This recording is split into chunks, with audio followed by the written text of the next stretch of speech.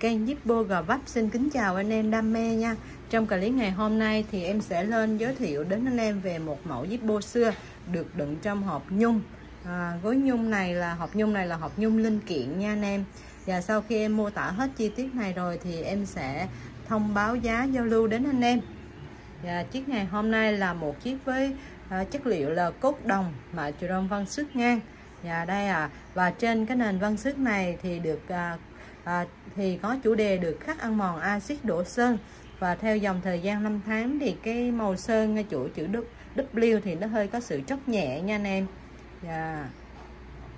Yeah. chiếc này thì hiện tại là một chiếc đã qua sử dụng mà và em đã làm vệ sinh rồi thì hôm nay em mới lên quay các góc cạnh để anh em có thể tham khảo một chiếc chiếc bô xưa và chiếc này thì gọi là chiếc Zippo xưa vì nó được sản xuất vào năm 1964 à, năm 1964 là Zippo chữ xéo nha anh em. Nó có hai chấm mỗi bên một chấm như thế này.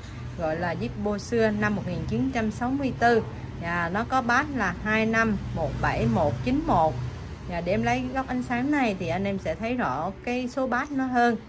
À, như thế này nha anh em. Dạ, và anh em cứ yên tâm những mặt hàng em giao lưu đến anh em á, đều là hàng còn nguyên viên chính hãng hết ạ. à à, và cái cạnh viền bản lề thì anh em thấy nè theo dòng thời gian và một chiếc đã qua sử dụng mà cái bản lề nó còn quá là đẹp nha anh em. Ở đây bản lề nó rất là khép kín năm cháu đó, một chiếc đã qua sử dụng mà rất là còn rất là liền lạc và cứng cáp nha anh em. À, cạnh viền mở nắp nó đây. Đó. Đây là mặt sau. Thì chiếc này qua sử dụng thì những cái vết xước á, thì anh em có thể tự cảm nhận trong clip này luôn. Tại vì em thấy nó xước tơ rất là nhẹ nhàng chứ không phải là xước nhiều.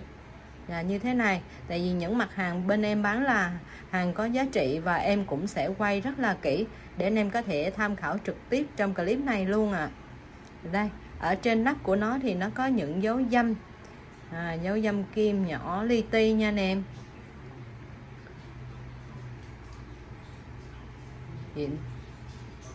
À, hiện tại là à, ở trên cạnh nắp á, thì à, em thấy là nó có một cái dấu bẹp. À, có dấu bẹp cũng khó rất khó nhìn khó thấy lắm à như thế này chẳng hạn như em quay như thế này thì anh em sẽ không thấy được cái dấu bẹp của nó tại vì nó bẹp ở góc nên rất là khó thấy. Nhiều lúc em chụp hình cũng không ra được luôn. À, dấu bẹp nhẹ nha anh em.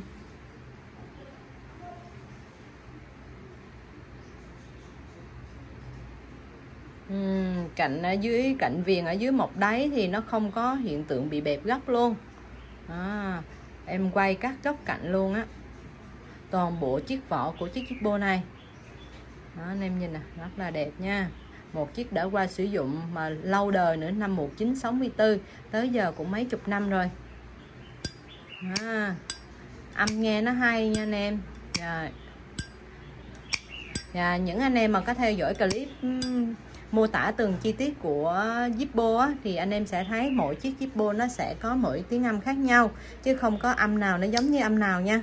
Tại vì bên em thì em để nguyên hàng hàng về sau thì em chỉ làm vệ sinh sạch sẽ đối với những chiếc đã qua sử dụng. Còn những chiếc new thì em chùi sơ còn về sửa chữa hay là chỉnh âm thì bên em không có nha đây, anh em nhìn này một chiếc đã qua sử dụng mà cái bản lề trên anh em thấy nè nó hay cái đường gạch sọc á nó rất là mảnh nha chứng tỏ nó va chạm với búa rất là ít đó. Đây. và chiếc này dường như là có sự đã qua sử dụng nhưng mà dạng như là sử dụng một thời gian xong rồi để im á để lâu á. Không không xài tới nữa à. Đây, rất là còn rất là bền theo dòng thời gian 5 tháng nha anh em còn bộ một chiếc jeep là còn nguyên zin chính hãng. Đây còn về chiếc ruột của nó à. Và những anh kêu là sao những chiếc ruột này thường nó không nó bị mờ không có chữ. Thì nó những dòng xưa thì anh em sẽ để ý. Dòng xưa thì cái chữ của nó được dập rất là nhuyễn rất là nhỏ nhiều lúc nó không có chữ mình không thấy rõ luôn nha anh em. Như thế này là em thấy rất là rõ rồi. Đấy, em quay cắt góc luôn để anh em có thể cảm nhận đó. và chiếc ruột của này là cũng một chiếc ruột thép và chuẩn dây đoạn với vỏ luôn à. Nó có bát số 25171 91 nằm ở giữa và bánh xe của nó là bánh xe sỏ chỉ. À, bánh xe viên tí nữa thì em sẽ test cái bánh xe để anh em thấy. Qua thời gian 5 tháng mà nó bánh xe nó rất là bén lửa rất là nhạy. À, buồn đốt anh em nhìn. Cái độ xước cầm của buồn đốt thì nó rất là nhẹ và bên em thì không có xà ba buồn đốt nha anh em. À, không có xà ba chiếc ruột nha cho nó sáng bóng lên. À, bánh xe. Và lưỡi gà bên trong của nó là lưỡi gà lá lúa nha anh em. Tim thì tim bột và tim của nó thì em để nguyên đầu chứ em không đổi đầu đó, anh em thấy là cái bánh xe đó. Những dòng xưa bánh xe rất là bé.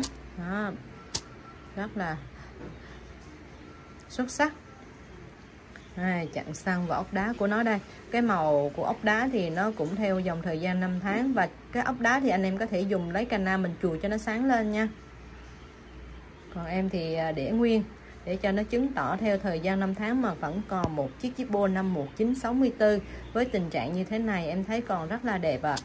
hoạt động rất là tốt à. Dạ và chiếc Zippo xưa năm 1964 à, và còn rất là cứng cáp âm nghe hay. Đó.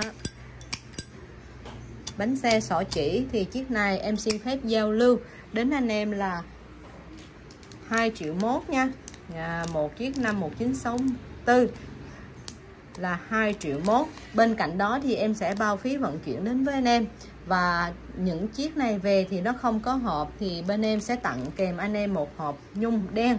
Và hộp nhung nhung đen này mặc dù nó là hàng linh kiện nhưng mà nó rất là êm nha anh em và đẹp lắm mà và bên cạnh đó thì em sẽ bao phí ship đến với anh em và tặng anh em vài viên đá đỏ linh kiện như thế này.